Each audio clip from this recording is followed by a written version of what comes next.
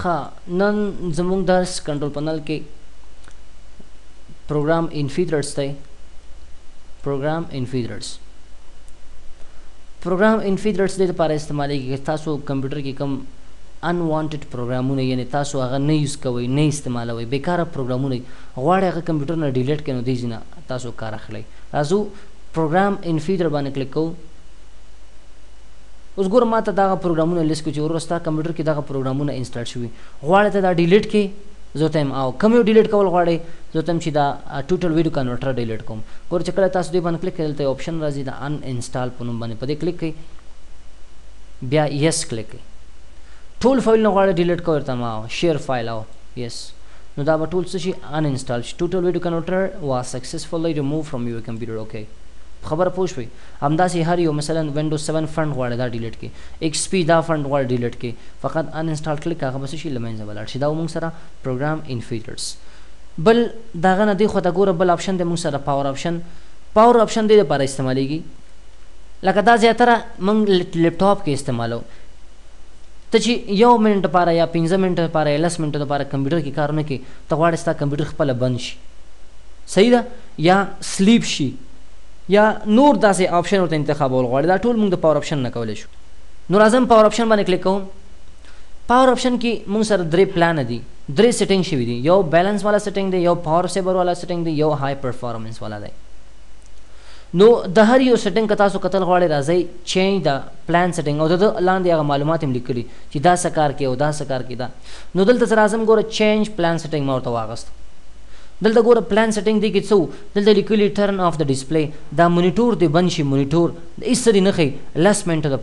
وروسته چې کله زه لس منټو پورې کمپیوټر کې کار ونه کوم زما مونیټور د خپل بند شي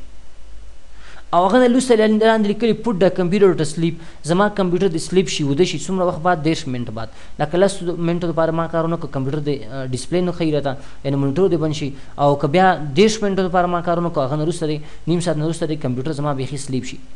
سلیپ څه ته ویل کیږی ګوره یو خو یو مړ ټرن آف وی یو سلیپ وی ټرن آف چې دی مړ ته وی لکه یو انسان چې مړ شی او سلیپ وده ته وی. لکه ګوره یو خو ټرن آف چې زه خپل کمپیوټر مکمل بند کړم او بل سلیپ دی سلیپ چې دی دا د ټرن آف په شکل کیږي لکه ستا کمپیوټر د سی لکه بند غوندي چې په دې تا کلیک وکړه لکه ټایم د تور کو ستا کمپیوټر به بند دی اس چې به نه خیده ته نه به موس کار کوي نه به کیبورډ سو خو چې کله ته پاور بټن ستا دا کم د برق بټن چې ستا سی پیو کې دا دای بټن باندې کلیک کې تاسو ستا کمپیوټر بیرته خپل خوب نه پاسيږي ویده یې پاڅیږې یعنی سلیپ معنی ویده چی څومره وخت بعد ستا کمپیوټر وده شي برق به بیخي نه مصرفیږي مصرفیږي ډیر کم به مصرفیږي په دې باندی ورسیدل په خبره باندې دا دې په دې نو دلته تاسو سیټینګ کولای شئ څومره وخت بعد ستا کمپیوټر سلیپ شي او څومره وخت بعد ستا مونیټور بند شي دا سیټینګ دې کې شوی دی د دې بل ګوري های پرفارمنس والا ته لاړ شه چینج پلان سیټینګ دلته ګوره دلته 15 اغستی او دا یې نیو راغستی د دې بل کتل غواړې دلته راځه په دې پاور سیور باندې کلیک کړئ دا وګوره د دا سیټینګ ځان ته دی پکې په خبر پوه شوي اوس ته ځان ته کوم پاور سیور جوړول غواړي پلان سیټینګ جوړول غواړي دلته راته ګور لیکلي کریټ ا پلان پاور پلان خو مخکې دی نه زه راځم تاسو دا آپشن کلیک کوم دلته کمپیوټر کې ګور لیکلي ریکوایر ا پاسورډ ان ویک وای چې کله ستا کمپیوټر سلیپ شي دیش منټو لپاره تا کمپیوټر کې کارونه کستا کمپیوټر وده شي نو بیا چې هغه ته پاسه خوب نه هغه بټ دا برق پاور بټن سی پی یو کې نه ده دا چې ته کله پریس کوې کنه نو ستا کمپیوټر چې چلانیږي دا نه پاسورډ وغواړي کو نه غواړي نو که دا غواړي چې نه غواړي راځه ریکوایر پاسورډ ته وته یس ریکوایر ا پاسورډ که نو دغه سیدا د کلیک کړي پاسورډ تا نه پې نه غواړي خبره پوه شوې که چیر دا تا کلیک کړي پاسورډ غواړي او که دا د کلیک کړي پاسورډ نه غواړي یعنی هغه لاګ اف سکرین تا ته راوړي لاګ اف سکرین پاسورډ پروټیکشن ان ان ویک اپ نو تاسو پر تعلق لري دې نه بر بر اپشن دي موږ سره ګور لیکلي وین آی پریس دا پاور بټن دا زموږ سی پی یو کې یو بټن ده چې کمپیوټر چلانیږي او بندیږي تا ته وایي چې ته کله کمپیوټر تا چلان کړي دې بټن باندې کلیک وکړي چې شي وشي شټ ډاون شي زوتم اسم دې نه کیږي سیف کلیک نو چې کله تاسو هغه بټن کلیک کړئ هغه د د برق بټن دا سی پی یو چې چلانیږي بندیږي نو هیڅ شی به هم نه کوي خو که دلته تا ورته ویل شټ ډاون چې بیا د اوس ته کلیک وکړو نو ستا کمپیوټر به مکمل بند شي په خبره پوه شوي بل لیکلي وین آی پریس د سلیپ بټن ستاسو کیبورډ کې وګورئ د باک سپیس او اف ټویلف څنډې ته ښي طرف ته دلته ګورئ یو بټن ده د سلیپ په نوم باندې تا ته وایي چې کله ته خپل کمپیوټر کې دا سلیپ بټن کلیک کړې څه شی شي وین آی پریس د سلیپ بټن ستا کیبورډ کې دا سلیپ بټن چې ته پریس کړې کلیک وکړې پرې څه شی وشي زما کمپیوټر دې سلیپ شي بند دې شي کنه هیڅ دې ونه شي سیټنګ ورته انتخابولی شي زه ورته وایم چې هیڅ دې ونه کیږي سیف کلیک کړه. بل لیکلی choose what د power بټن do لکه مخکې چې دا کوم اپشن ما درته وویلې power بټن باید څه کار وکړي دا دا ورته انتخاب کوئ هغه نه لاندې بل لیکلی ګوره create a power plan ځان ته یو پلان جوړول غواړي پلان بیلنس والا جوړول غواړي power saver والا جوړول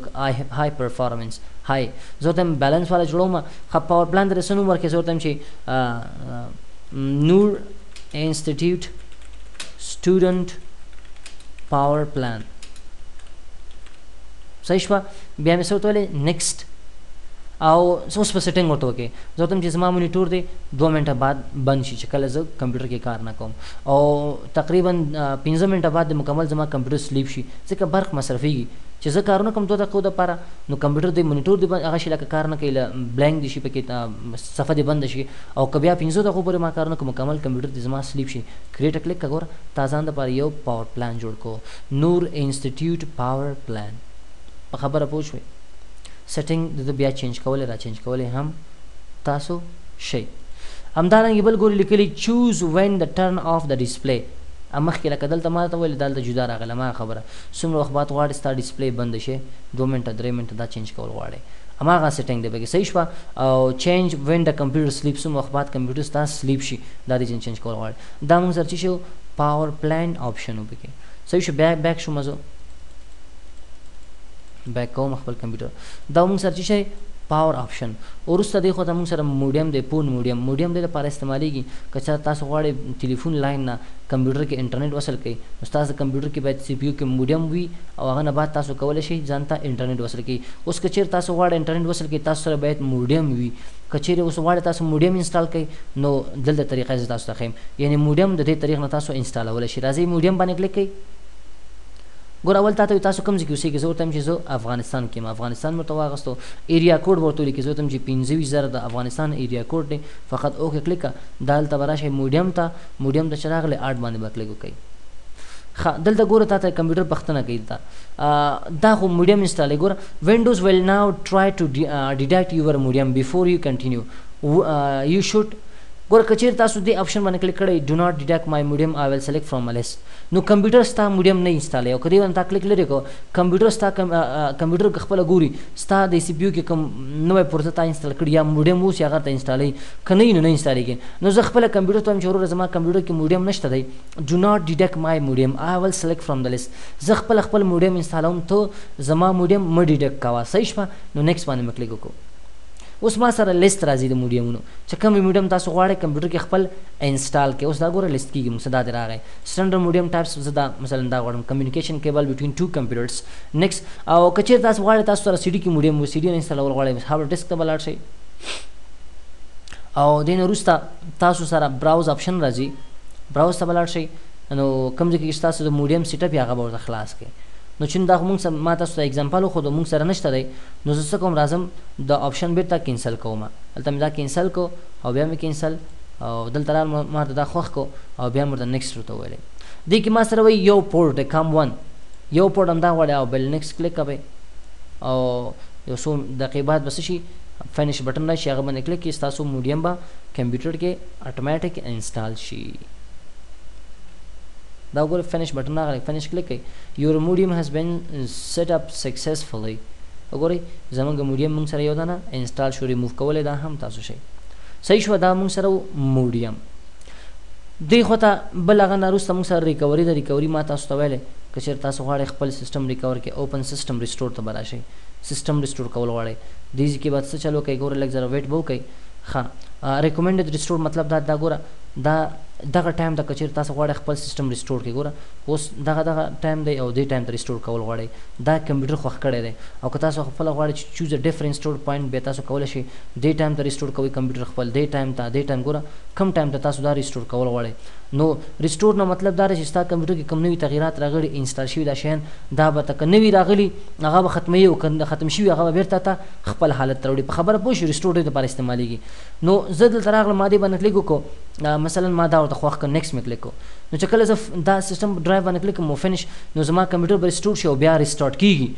هغه نه وروسته به کوم تغیرات شیان چې راغلي هغه به له منځه لاړ شي او چې کوم تلي هغه به بېرته راوړي نو زه ځکه دا فنش نه کلیک کوم که فنش مې کلیک کو نو زما کمپیوټر به هغه نه وروسته ریسټارټ کیږي او دا ریکارډ به ختم شي په خبره پوه شوي دا موږ سره ریسټور چې مخکې ریکارډ کې ما تاسو